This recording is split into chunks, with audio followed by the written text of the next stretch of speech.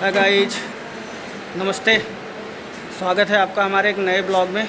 भाई रोज़ रोज़ टाटा की गाड़ी के सारी मतलब पूरी डिटेल आपको दे दिया। और आज मैं आपको इलेक्ट्रिक की 500 किलोमीटर वाली रेंज वाली गाड़ी दिखाता हूँ, जो भाई हमें नहीं मिलती। ना हमने कभी अप्लाई किया, ना कभी लेने की कोशिश की। और ये महँगी भी आती है।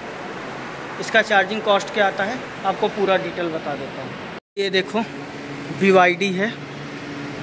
अब इसके पहले आपको गाड़ी दिखा देता हूँ, उसके बाद आपको पूरी डिटेल बता दूँगा। ये बी है, ये 500 किलोमीटर रेंज है इसका। ठीक है भाई? ये देखो, गाड़ी का पूरा आपको दिख रहा होगा। अभी ये तीन सौ चौरासी किलोमीटर चल सकती है। और भाई, इसकी स्पीड जो आपको दिख रही है ना 240 ये 240 नहीं रखना है भाई। इसे आप 80 पे चलाओगे, बहुत बढ़िया रहेगा। ये फ्रंट पे एसी है। पीछे पूरा बैक है। है तो है तो ये फाइव सीटर ही अभी आपको डिग्गी भी खोल के दिखा देता हूँ। ये इसका गेयर है। ये देखो आर एन डी यानी रिवर्स न्यूट्रल ड्राइव और इधर है भाई बढ़िया ही ये लिखा हुआ है पूरा ऑटो पार्किंग लाइट इको और ये स्टार्ट इधर इसका है चार्जिंग का है। ये फ्रंट स्पेस है। ये गाड़ी का रेडियो लगा हुआ है। और काफ़ी अच्छा बैठने का स्पेस है। बाकी ये गेट वोट आप देखो कितना अच्छा बनाया है। मतलब एकदम कंफर्टेबल है। और ये गाड़ी आपको एकदम बढ़िया 500 किलोमीटर रेंज तक आराम से चलेगी। और इसका थोड़ा सा मैं डिग्गी ओपन करके आपको दिखाता हूँ। ये आगे का सिस्टम है भाई। ये देखो मिरर का है। और ये चारों शीशे का है। बाहर से गाड़ी आपको दिखाता हूँ। काफ़ी मस्त स्ट्रांग है। ये शीशे पे बढ़िया लाइट वाइट लगा दिया है कंपनी ने। और इसका ये व्हील है गाड़ी का। ये बैक व्हील है, सामने का ये फ्रंट व्हील है और इसकी एलईडी लाइट लाइट का भी बहुत बढ़िया इसमें दिया है। चार्जिंग टाइम भी आपको बता देता हूँ, ये आगे का देखो कितना अच्छा मतलब दिखने में कितनी मस्त लग रही है गाड़ी। और इस साइड कितना अच्छा वीआईपी शीशा दिया हुआ है। ये देखो बैक इसका ये जो है, पीछे का है। डिग्गी तो शायद नहीं ओपन हो पाएगी। इधर इसका चार्जिंग का है।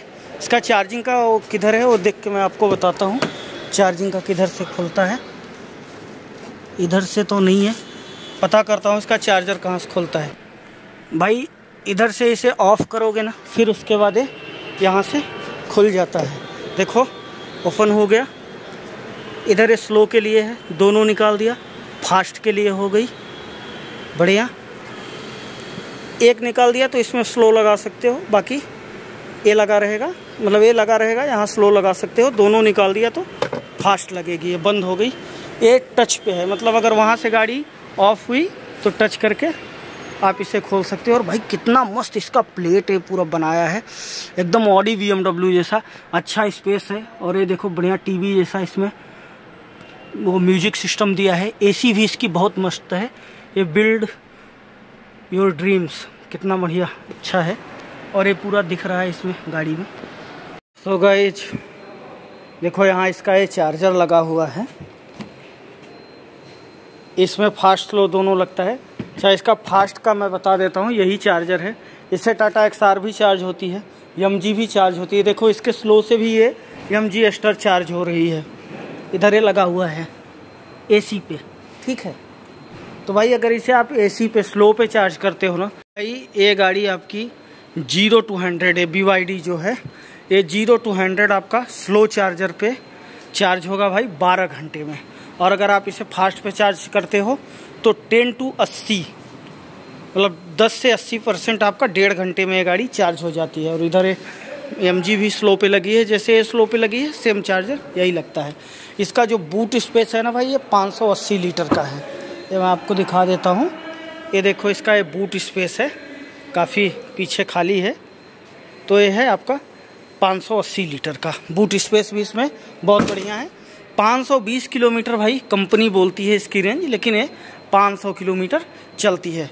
बैक में भी आप इसका देखो, काफ़ी अच्छा स्पेस है। मतलब बहुत बढ़िया कंफर्टेबल है। है तो गाड़ी भाई फाइव सीट इसका जो चार बैटरी है 71.7 किलोवाट का बैटरी है।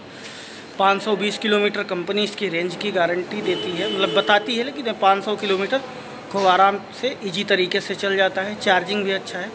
गाड़ी की भाई जो स्टार्टिंग प्राइस है समथिंग 30 लाख से स्टार्ट है और काफ़ी अच्छी गाड़ी है। मतलब अगर आप 500 किलोमीटर का रेंज रखते हो ना तो एक बार घर पे अगर आपने 12 घंटे चार्ज कर दिए ना तो दो तीन दिन तो आपकी आराम से गाड़ी चल जाएगी।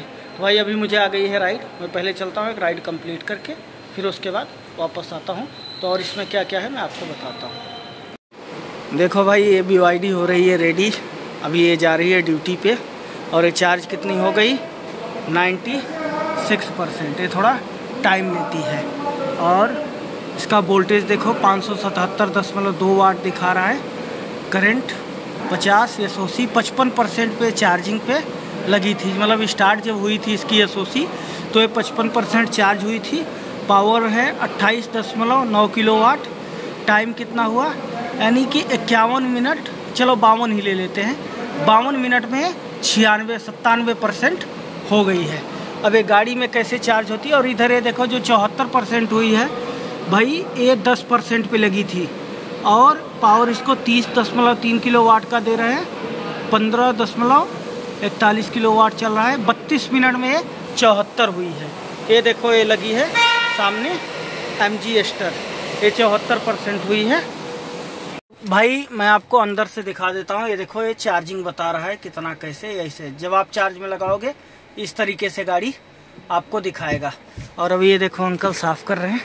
रेडी हो जाए तो कैसे स्टार्ट होती है, सारा प्रोसेस बताता हूँ। सो फाइनली दोस्तों, सुबह के बज गए सात। और अब हम चल रहे हैं घर, क्योंकि हम थक गए हैं। पूरी पूरी रात हमने नाइट ड्यूटी की है।